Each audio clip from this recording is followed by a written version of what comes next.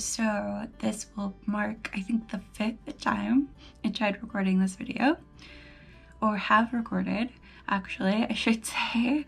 There's been so many issues. I am giving no... I, mm, can't do the word. Books, to be honest. So, um, yeah, I'd really just... out. But I read two other books from him. It's a guy, right? It's read a book with the color of your birthstone. Um, like read a book with the cover of a color of read a book with the cover of the color of your okay i'm just gonna read it verbatim how about that read a book with a cover that matches the color of your birthstone wow that was way easier than what I was trying to say. So I picked Red Right Red Rising. It's a whole different series. Okay. Um I can't remember what hmm I can't remember. Um and I'm sure there's a glare on my glasses. But I just I, I just don't know what to do. Um, so this is this is it. This is what we got.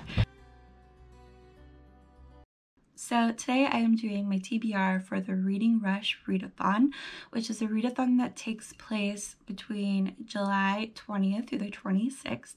I will link the video of the readathon below so you can check it out if you're interested. Um, this will be the first time I participate in a Reading Rush readathon. I'm very excited. Um, to take part, to challenge myself. I was very um, thrilled to pick out the books. It was a lot of fun and I'm excited to share them with you today. So the first, the first prompt is read a book with a cover that matches the color of your birthstone. I was born in August, um, which means my birthstone's a peridot, which is green. So for this one, I picked Home Before Dark by Riley Sager. This is his new release. I read two other books by Riley Sager and I thoroughly enjoyed them. They were a lot of fun. They kept me hooked from beginning to end. So I'm hoping that will be the same for this one. Um, I have heard mixed reviews about this book, and given the given the summary, I'm not surprised. It's a basic, you know, haunted house story, um, and I'm not the biggest fan of ghost stories, but I'm hoping because I liked his other books and his writing style that I will like this. But basically, a woman um, when she was younger, she was a child, she lived in this Victorian home, this Victorian manor out in the middle of the forest in Vermont. Um, and, you know, it was a haunted house. Her parents left, her father wrote a memoir about it. Um, and now she's a woman. She doesn't really have any memories of that time. She's only going off of what she's read in um, her father's memoir. And she redoes old homes for a living. So this is kind of her way to get back there, to redo that home. Um, find out what's going on with the house um, and the town people aren't really that thrilled that she's back because I guess, you know, her father didn't show them in the best light. Um, so yeah, I, I hope that it will be really fun, exciting, and, and keep me going. So the next prompt is read a book that starts with the word the. So for that one, I picked The Hunting Party by Lucy Foley, another thriller. Um, I recently read The Guest List and I really enjoyed it. I had so much fun reading it. It was a whodunit, but there was sort of like a twist on it, which I really enjoyed, surprisingly. Um, and I really wanted to um, pick up her other book. So I'm really excited to be reading this, The Hunting Party. Um, it's essentially the same sort of concept as The Guest List. There are people who gather together.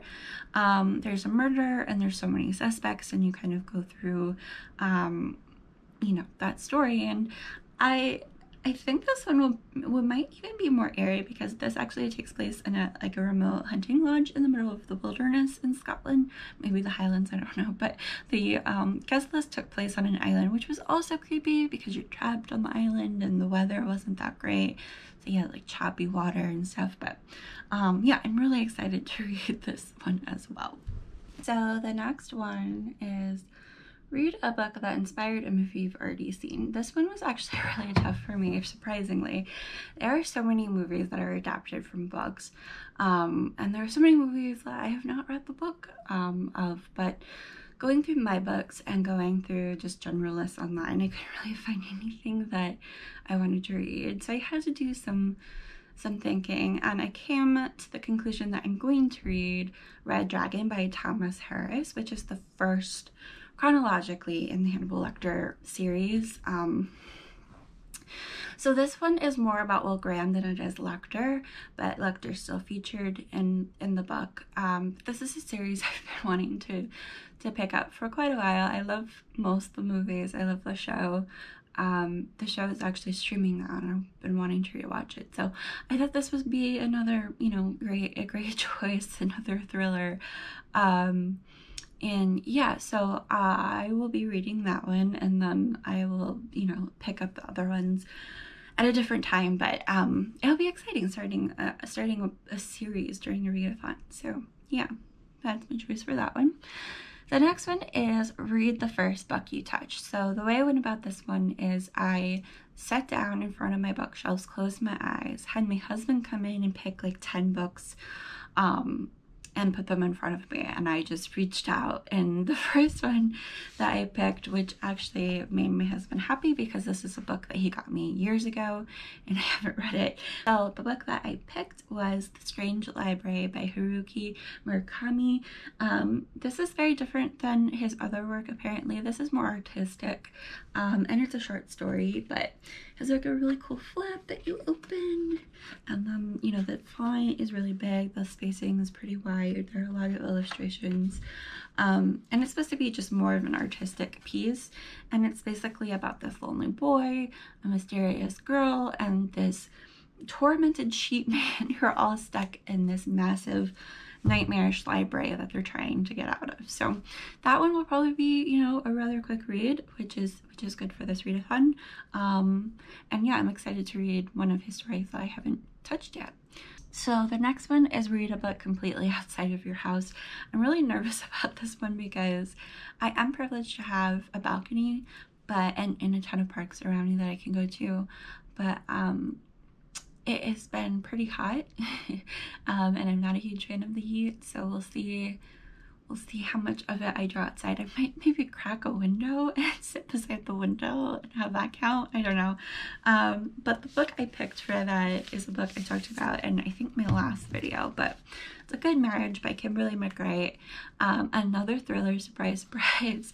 Uh, this is about a woman who's a lawyer. She's having trouble with her marriage and while this is going on, an old friend of hers um, calls her up and requests for help because he is the prime suspect in his wife's murder. And so she tries to help him, discovers all these secrets of their marriage, um, of the community that they live in, all while dealing with the struggles of her own marriage. Um, and yeah, I've, I just heard amazing things about this one, so I'm really excited to actually read it. Next one is read a book in a genre that you've always wanted to read more of. It's super easy for me.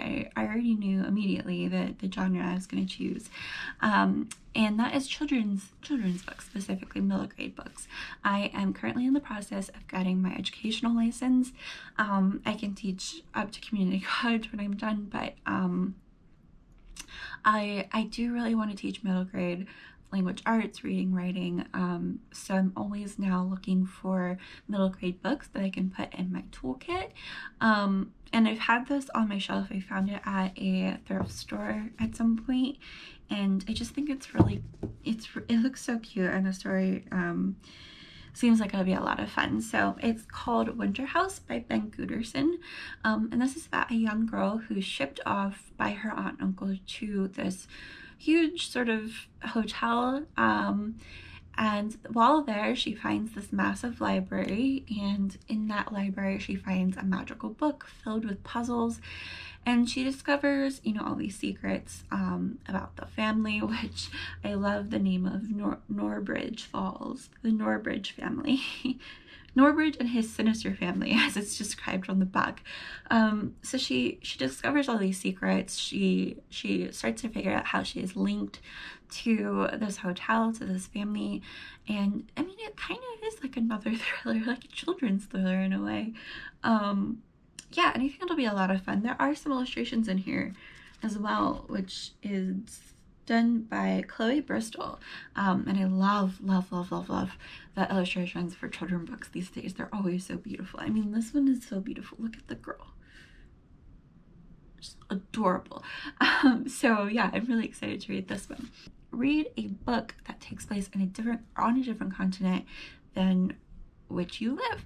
I live in the States, so this was um it was actually pretty tough trying to find a book on my bookshelf. Um, that wasn't like a big book to read. Um, and I'm not sure if I'm cheating a little bit with this one because technically I think it takes place more in Neverland, but it does take place in England as well. So I'm picking, if you couldn't tell already, Peter Pan by J.M. Barrie. Um, I haven't read Peter Pan since I was a child, I think, but I love, I love the story. I love the movies.